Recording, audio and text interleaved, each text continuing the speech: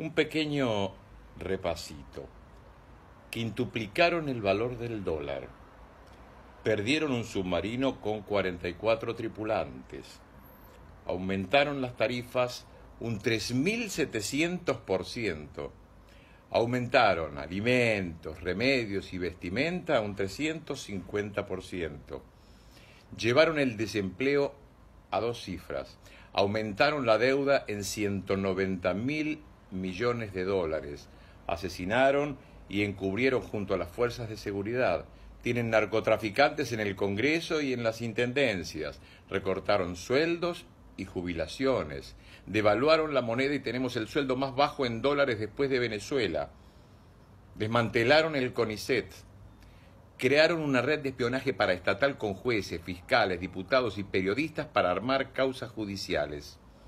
Abrieron importaciones sin control y produjeron la caída industrial más grande de la historia. Cerraron el Senado. Hoy la Argentina tiene presos políticos. Produjeron la peor crisis de la historia con cierre de medios y desempleo de periodismo.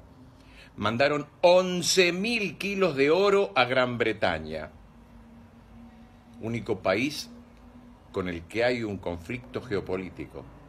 Duplicaron la inflación, primarizaron las exportaciones, regalaron ARSAT, hicieron campaña electoral utilizando datos de quienes cobran planes para blanquear dinero sucio usándolos como aportantes truchos, cerraron fiscalías y defensorías de la mujer, reprimieron a manifestantes cada vez que pudieron, provocaron el cierre de 25.000 pymes, cerraron el Ministerio de Salud, el consumo de carne per cápita está en su mínimo histórico, provocaron el cierre de 85.000 comercios, le sacaron cunas a los bebés, computadoras a los pibes, remedios a los viejos, recortaron subsidios a discapacitados, llamaron a un blanqueo del que participaron todos los miembros del gobierno, bajaron el consumo de la leche, desabastecieron de insumos básicos a los hospitales, sacaron el pan de los comedores en cava, crearon los créditos UBA que a poco tiempo se tornaron usurarios.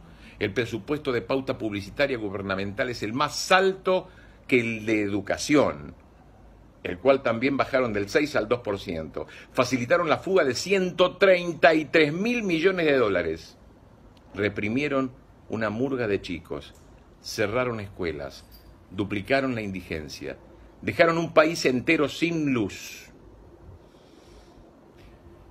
Seguro que me faltaron cosas que pasaron, pasaron cosas, ¿no? Bueno, ¿se imaginan cuatro años más de esto?